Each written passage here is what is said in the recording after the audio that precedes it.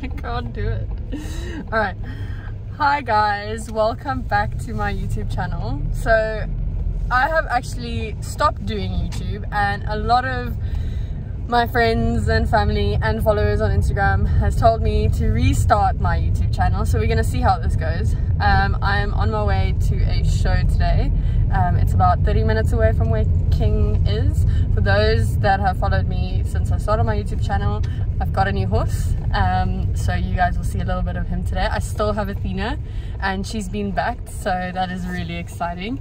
Um, but I hope you guys enjoy this vlog ish thing show vlog i don't know what you call it um, and i will see you guys when we get to the venue okay i'm back again so um there's someone i'd like you guys to meet um obviously he was in my previous videos. So this is Tarek um, he is obviously my boyfriend uh, but he's going with me to the shows and he will be taking videos and stuff of me but you guys will see him a lot more in these videos because he's like with me all the time when I go to shows.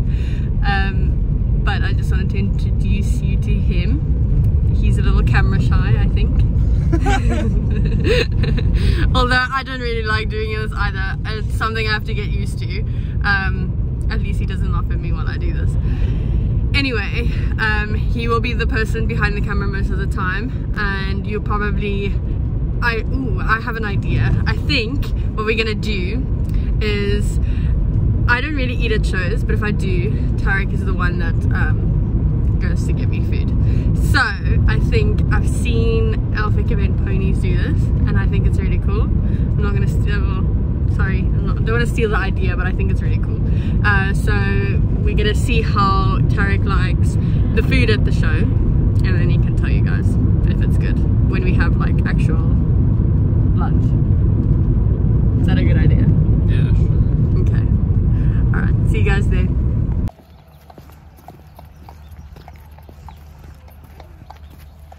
Tarek I'm just seeing your silhouette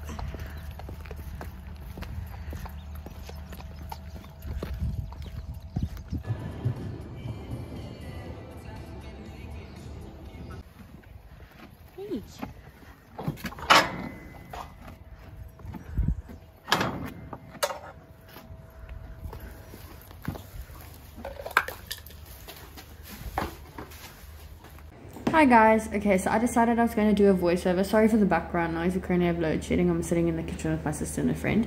Uh, so coming around to one, a lot of people were having a dead canter coming around that corner, so I really made a point of pushing King forward, and then it was seven down to that oxer. That girl was standing behind the oxer and King actually got a fright of that horse, but I had to push him on to get over it. Coming down to this was a um, six strides down to this, uh, to these two uprights. Um, he's quite careless over uprights, so I really had to work to just get him back on his hind end. Coming around this corner, it was 20 steps down to this upright, which usually a four stride is 18 steps, so it was quite a long four stride. Um, and he found it quite, uh, he found it normal because he's got quite a big stride. And then he tripped coming down that corner. Uh, it's actually six coming down to this one stride, but he did it in five because this was a um, speed round. So I really pushed him forward and he quite, he suits that. Uh, I cut this oxer on an angle so that I could make this turn easier to this upright, which I could have actually kept my leg on a little bit longer so that he could have had a better jump over that, but that's fine. And then I pushed him onto this oxer at the end, which I wanted to check him, but he he just gets so strong, so he got a little bit long. But I was really happy he came first in this round. Yeah, so King got first in that first round. So while I'm walking here, I just want to give a little bit of backstory to my second round. So here I come in now.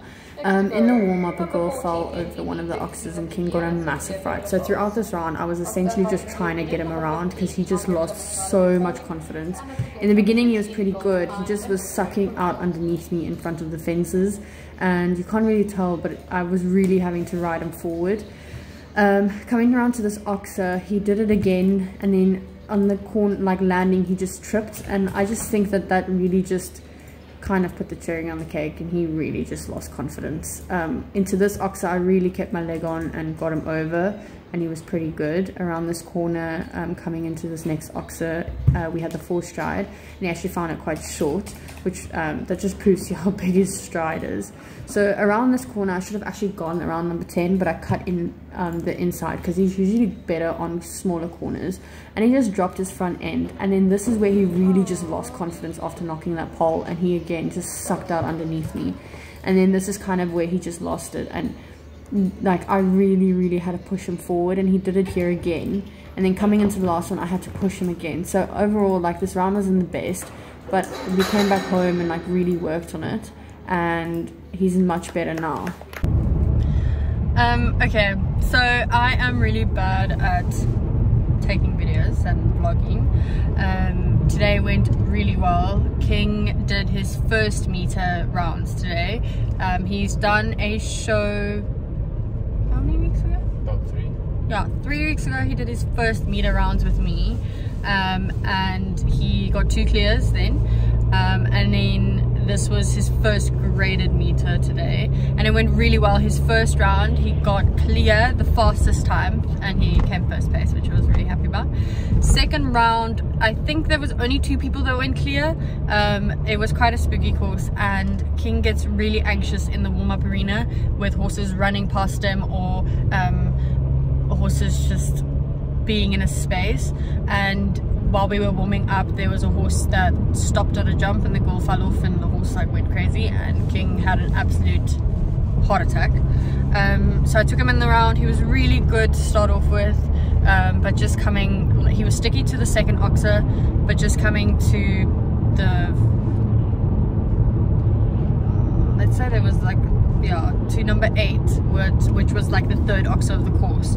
Um, he just lost total confidence um, and dug him well I dug him into the the bottom of the oxer and then when that happened he just kind of lost it. So um, but I'm really happy with him overall. I think he jumped brilliantly for his first graded show. Now we've at least got one point, so four more to go and then he'll be moving up to 110s, which I'm really happy about. So that's kind of the goal for at the end of the year. Um, but yeah, so thank you guys for watching my not so interesting vlog because I didn't really vlog a lot. um, but thank you for watching and I hope you guys want to see another one. Let me know. Bye. Hi guys, um, this is me four days later from the show. Um, I just wanted to add a little bit of context in that last round. I didn't have time to do the voiceover because my round went so fast. Um, so I had a lesson yesterday with Brendan, uh, my coach, and we kind of just went through what happened on my round, my second round at least, um, at the show. Like I said, I was so happy with his first round, and then obviously the second one happened. So um, essentially, with King, he gets extremely anxious and he like gets really overwhelmed if horses come running up behind him in a warm up or if like people fall off or anything like that. He really responds badly to it. So before my round, like I said, someone fell off and he had such a moment. And then when I came into my round to like ride, the girl before me was demolishing the course. Like she knocked almost every single jump and then kind of went through one of the jumps. And so he I think just saw that and it completely freaked him out. So starting off the course, he started like really anxious. Like I could feel it. Like you can't really see it on the video. Um, so that's something definitely he needs to work on. Uh, well, I need to work on with him as well. So we've got a show this coming weekend, which will enter him in the meters again. Um, I'll decide to see how he feels on the day. I might drop him down to 90 the first round and then a meter in the second round. Um, but this is just for confidence, just to get his confidence back up. Luckily, it's not in an indoor, because I think the indoor setting also made him really nervous.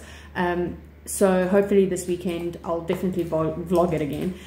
He should be better. Um, he should be a lot more confident. Um, but I will keep you guys up to date, and I will definitely vlog the next show if you want me to. So just comment below and let me know. Um, and yeah, so hopefully King goes better this um, show. But this is his first, like he's only started graded this year. Um, so this is everything is new to him. All these scary, spooky fillers and everything. So I'm overall extremely proud of him, and I think that he really has a very bright future ahead of him. So anyway, thank you so mu- much for watching my vlog, and I'll see you guys in the next one.